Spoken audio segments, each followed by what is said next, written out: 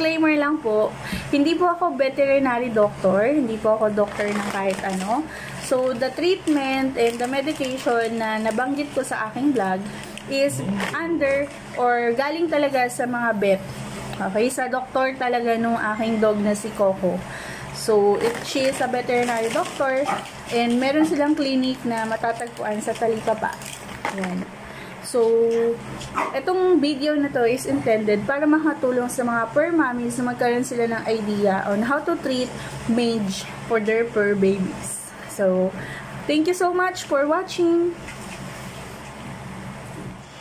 Hi guys! So, welcome to our vlog. It's Lovely Faith Vlog. So, uh, for today's video, naisip ko itong uh, topic na to kasi uh, naranasan mismo to nung aking fur baby na si Coco.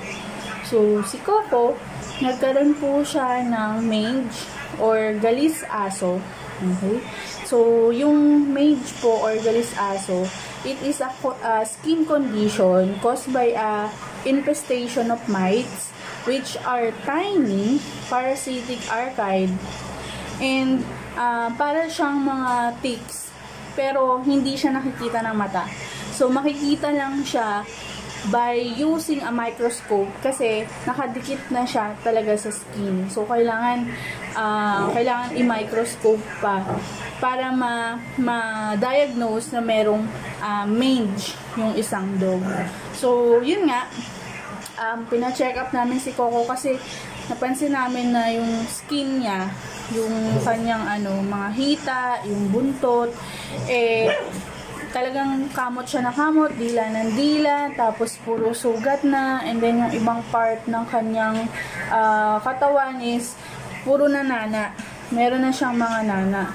So, parang nawalan siya ng ano ng gana kumain, natam, tumamlay na siya, hindi na siya nakikipagharutan, uh, gusto niya na lang lagi sa sulok, ayaw niya talagang kumain. So, dahil doon, dinala na namin siya agad sa vet.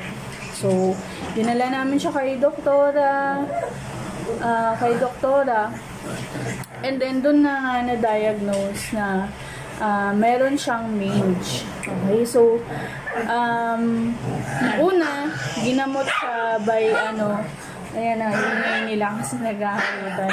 Ang unang ginamot sa kanya is yung anti-mange na through injection.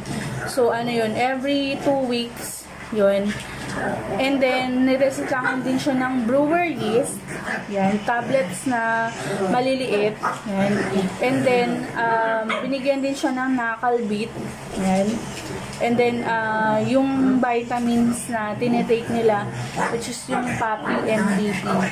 So, continuous, ano lang, continuous uh, taking of those meds medyo medyo nag-minimize naman, medyo nabawasan pero hindi nawala. So after 3 months siguro na continuous yung ganun, sabi ni doktora, uh, baka ma, baka masobrahan naman siya sa pag-take ng anti-mange. So kailangan namin palitan para mas ano, mas mapabilis yung yung result. So ang ginawa, uh, yun na, sinuggest niya sa akin, ni-reset niya yung yan. Hi po! Ako po yung maingay. So, yan. Um, kita nyo naman, di ba? Yan. So, dati hindi ganyan yan. Pagka, pagka nilalapitan siya ng ibang shih tzu, lumalayo siya. Tapos, doon lang siya sa sulok. Ayaw niyang maki, uh, makipaglaro. Kasi nga, parang nararamdaman niya sa sarili niya na ano, wala talaga siya sa mood. Hindi maganda yung pakiramdam niya.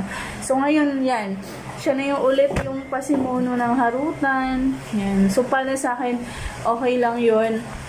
Ang importante, gumaling yung baby ko. Yan. Hi ka, Coco. Hello! Yan. So, ito si Coco, uh, one year old male Shih Tzu. Yan. Black yung color niya. Yan. Napakakulit. Yan. Pero napaka-sweet din. So, yan. Tingnan nyo po yung skin niya. Yan. Lapit ka ko. Sweet boy ka. Yan. So, yung mga nakikita nyo na yan, yan na yung marks nung mga naging sugat niya before. Okay? So, dati kasi talagang tad-tad yan ng nana. Tad-tad ng sugat. So, maawa ka kasi naglalangib, yung, tapos dumudugo. Pagkakargahin mo siya, uh, walang, walang time na hindi ka ma malalagyan ng dugo. Kasi nga, yan, yung mga sugat na yan, nakikita niyo sa skin niya, those are ano eh, those are um, skin marks na. Nakita mo na, yan. Yan, ito-itoy niya. Yan. So, kita nyo yan. Ito. Yan. So, yan yung mga marks na naging sugat niya. Yan. So, yan. Yun nga. Um, back to the topic. Yan.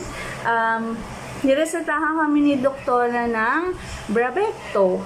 Okay. So, yung Bravecto po, um, may mga nabibili grabe, but mas i-recommend ko sa inyo na bumili kayo dun talaga sa bet. Okay? Para, uh, para legit or at least yun yung prescribe ng doktor ninyo.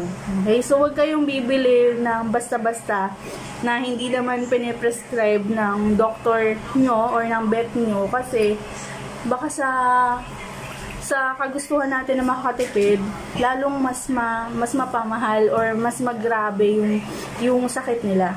So, yun nga, nag-take siya ng Brabecto, isang take pa lang, okay, take note yun, isang inom niya pa lang ng Brabecto, ayan, kita na yung resulta. Ayan. Happy kid na ulit si Coco. So, mabilis na nawala yung mga ano, mabilis na natuyo. Yan, mabilis na natuyo yung mga sugat niya. Yan. And then, yung fur niya na dating ano, lagas-lagas talaga. Hanggang ngayon naman, may mga spot na poke nut o yung wala.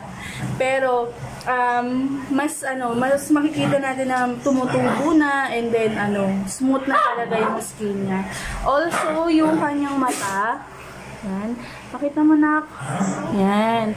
Dati yung mata niya, punong-puno ng ano, parang muta na parang langib.